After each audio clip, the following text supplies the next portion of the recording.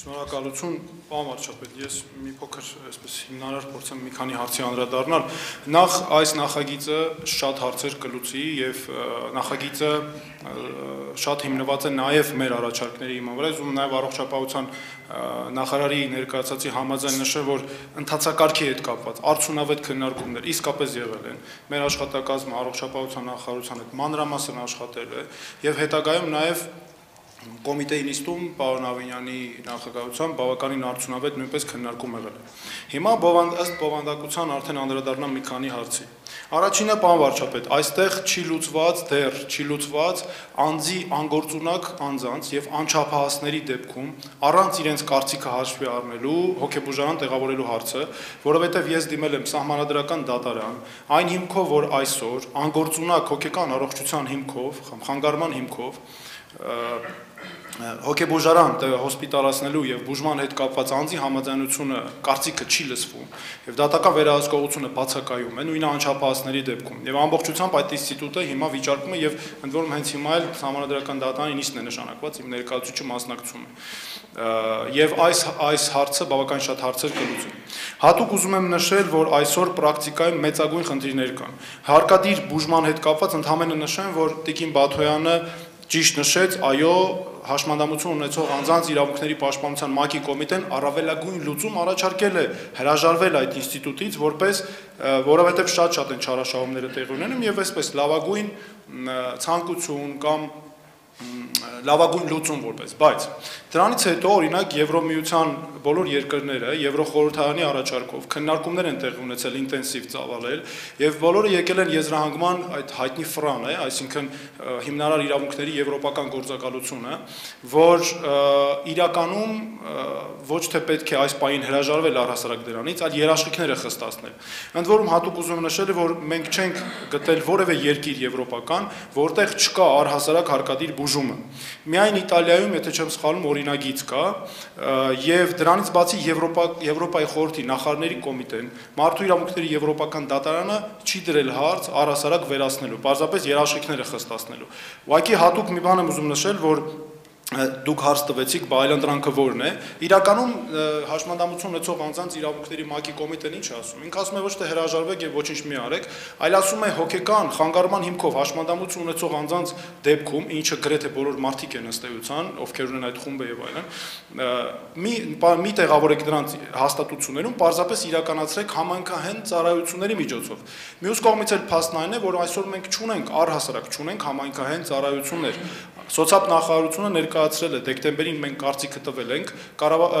հատուկ ակտի նախագիծ, որը նախատեսում է Հայաստանում ստեղծել արդեն սոցիալական տներ եւ այլն, բայց դա դեռ նախագծի մակարդակով է։ Հետևաբար, եթե մենք հրաժարվենք իրավունքների ապահովման խնդիր լինելու մեկ այլ տեսանկյունից, այսինքն սա այսպես որպես առավելագույն լուծման մակարդակով։ Մյուս առումով ես ուզում եմ երկու եւս հարց առանձնացնել շատ կարեւոր այս նախագծերի փաթեթով դեռ լուրջ աշխատանք կա տանելու քաղաքացիական դատավարության օրենսգրքի հետ կապված բան վարչապետ։ Այդ կարգավորումների պատճառով մարդիկ ամիսներով, տարիներով մոռացվում են հոգեբուժական հաստատություններում։ Դատական նիստերի անհիմն ձգձգումների պատճառով հոգեբուժական կազմակերպությունների ոչ պատշաճ վարկագծի, անօրինական վարկագծի պատճառով կամ մոռանալու հետևանքով մնում են երկար ժամանակ հոգեբուժական կազմակերպություններում։ Մենք դեպք ունենք, երբ մարդը 11 ամիս սպասում է դատական ակտի, եւ այդ ընթացքում պատկերացեք մարդու նկատմամբ իրականացում են միջամտություններ։ Եվ այստեղ օրենսդրական կարգավորումը հետեւյալն է. մարդը մուտք գործեց հոգեբուժական հաստատություն, 72 ժամ, եթե հրաժարվում է համաձայնությունը չի տալիս բուժման, 72 ժամ ունի հոգեբուժական կազմակերպությունը, որ դիմի դատարան։ Դատարան ունի 1 օր վարույթ ընդունելու հարցը լուծելու համար եւ 5 օր նիստ նշանակելու համար։ Բայց թե հետագայում երբ որոշումը կկայացնի դատանը, ոչ մի կարգավորում չկա։ Դրա պատճառով,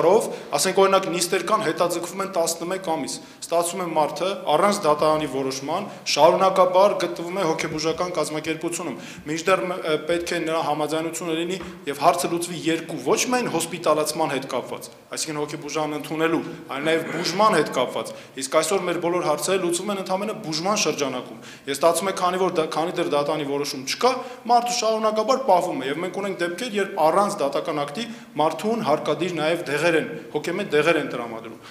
Օրինակ 18 օր մենք մի դեպք ունենք, որ տրամադրվել էր։ Դա էլ այն պայմաններում, երբ ամբուլատոր քարտերում ախտորոշումները գրեթե բացակայում են։ Ախտորոշումները նշվում են այնպես, որ ընդհանրապես ընդհանրապես հասկանալի է չի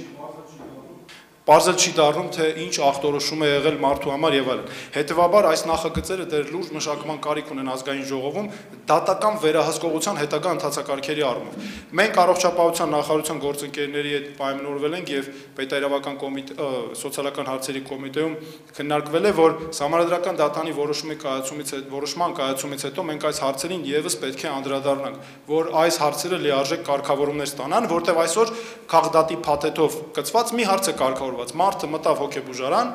որքան ժամանակ հետո պետք է վերանայվի իր բուժումը։ Նախատեսել ենք 6 ամիս։ Դա նաև խոշտանգումների կանխարգելման եվրոպական կոմիտեի պահանջն է, որ ուղղված է մեզ։ Եվ եւս մեկ հարց այս նախագծերի փաթեթի ընդունում, սրանք հիմնականներն են, պարոն վարչապետ։ Եվ այս նախագծերի ընդունումից հետո մեծագույն աշխատանք պետք է տարվի իրազեկման ուղղությամբ Սա մեծագույն խնդիր է։ Այսօր մարդու իրավունքները կոպիտ խախտվում են, այդ թվում հոգեբուժարան ընդունվածների իրազեկման պակասի պատճառով բժիշկները, անձնակազմերը, բուժ անձնակազմերը առհասարակ, ադմինիստրատիվ մասը, կարող եմ ասել գրեթե չեն տիրապետում իրենց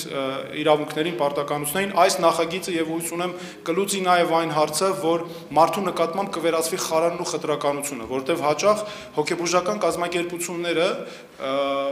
մենք օրերս ստացել էինք հոգեբուժական կազմակերպությունից մեկի պատասխանը ակնհայտ է, որ քողարկումը փորձ կա ակնհայտ քողարկելու խնդիրները այն անվան տակ, որ մարդիկ հոգեկան հիվանդներ են, խանգարումներ ունեն եւ այլն եւ նրանց կարծիքը պետք չէ հիմք ընդունել եւ ուղղակի ամփոփելով նշեմ, որ իրազեկման աշխատանքների առանց պատշաճ իրականացման, ընդ որում շատ լայնածավալ եւ հիմնարար այս նախագծերը կյանքի կոչելու հետ կապված կունենան դժվարություններ, որովհետեւ շատ ֆունդամենտալ են լուծումները դրական իմաստով։ Շնորհակալություն։